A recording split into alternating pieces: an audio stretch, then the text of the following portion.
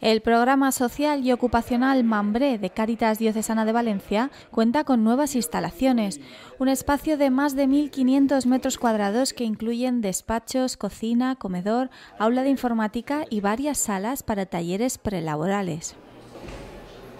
Todo ello para albergar la labor de atención, acompañamiento y reinserción de personas sin hogar, un programa que inició Caritas Diocesana en 1987 y por el que ya han pasado 1.350 personas.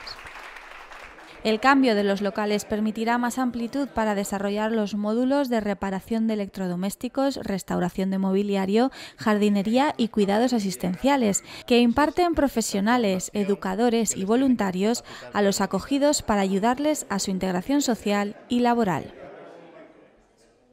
Las 15 personas que participan en el programa en la actualidad no solo aprenden las destrezas de un oficio, sino que también reciben atención personalizada y ayuda para cada caso particular, con el objetivo de que puedan dejar la calle y valerse por sí mismos.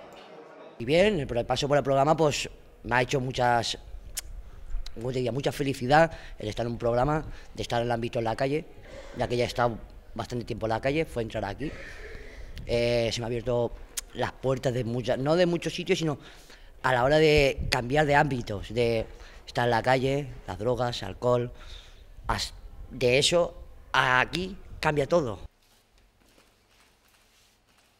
El cardenal Cañizares ha bendecido las nuevas instalaciones que ha conocido acompañado por los propios acogidos, que le han explicado las funciones de cada dependencia y han compartido sus experiencias personales. Tras la bendición, el purpurado ha recordado que Mambré es una obra que va más allá de la solidaridad, es un lugar de caridad. Esto es un lugar de caritas.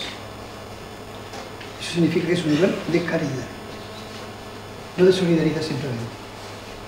La caridad va mucho más allá de la solidaridad, porque es sencillamente el amor de Dios hecho presente entre los hombres. Los nuevos locales están situados en la calle Alcañiz número 57 en el barrio valenciano de Torrefiel.